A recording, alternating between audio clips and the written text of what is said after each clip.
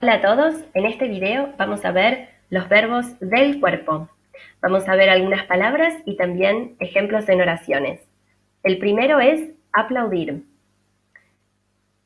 Oraciones, después de la última escena, los espectadores aplaudieron por tres minutos a los actores. Al terminar el discurso, miles aplaudieron efusivamente. Arrodillarse.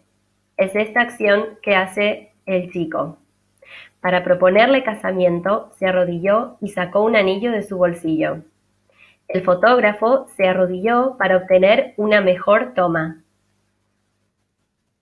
Bostezar es esta acción de aquí abajo.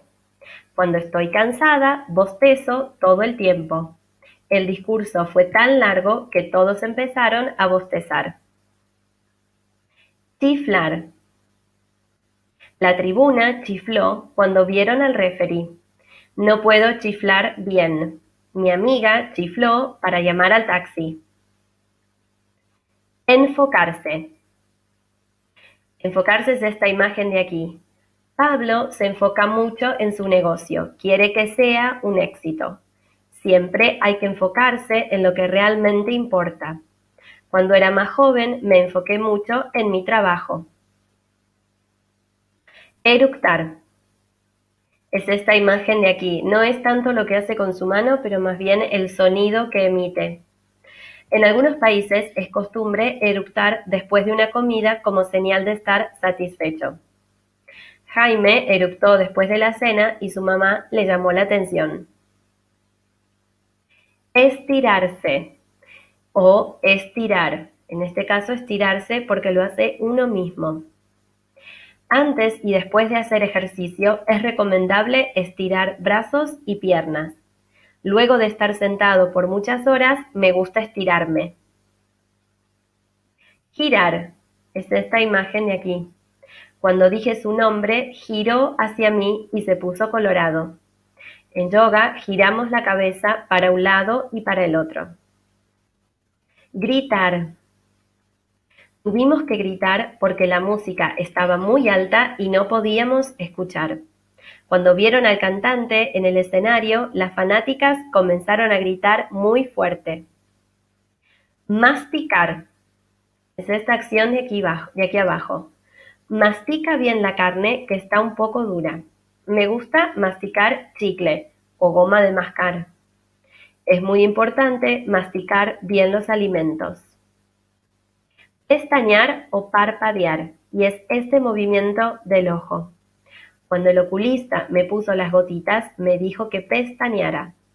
Justo parpadeé cuando sacaron la foto y salí con los ojos cerrados. El flash de la cámara fue tan fuerte que me hizo parpadear mucho. Rascarse. Es esta acción de aquí. Deja de rascarte que tienes muy rojo. Me ha picado un mosquito y me pica mucho. Una vez que te ponga la crema, no puedes rascarte. Respirar. Es lo que hacemos todos los días. En yoga respiramos lento y nos estiramos. Cuando estoy estresado, respiro profundo y trato de relajarme. Durante el incendio, los bomberos respiraron el humo y fueron al hospital. Pisar. Pisé una cáscara de banana y me caí en la calle. Ten cuidado, me has pisado seis veces desde que empezamos a bailar. Pisa con cuidado, el piso está resbaladizo. Silbar. Es esta acción de aquí abajo. A veces me gusta silbar canciones cuando camino. Mi perro reconoce mi silbido y cuando silbo viene corriendo rápido hacia mí. Silbido sería el sustantivo de silbar. Sonarse los dedos o los nudillos. la primera imagen son los dedos, la segunda los nudillos. Muchas personas dicen que es malo sonarse los dedos. Algunos pianistas se suenan los nudillos antes de tocar el piano. Suspirar. Luego de terminar su trabajo, suspiró. Cuando escuchó que debía trabajar más horas, suspiró profundamente. Susurrar. Me susurró un secreto al oído. Las alumnas susurraban en clase mientras hacían la tarea. Tararear. Es esta acción que hacemos aquí, es el sonido que emitimos. No sé la letra de la canción, pero la puedo tararear para que me digas cómo se llama y quién es el autor. Me gusta tararear mientras cocino. Zapatear, último verbo, es este de aquí abajo.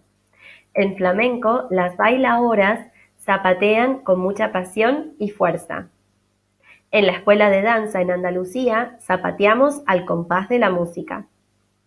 Bueno, muchas gracias por haber visto este video y espero que les haya gustado. Hasta la próxima.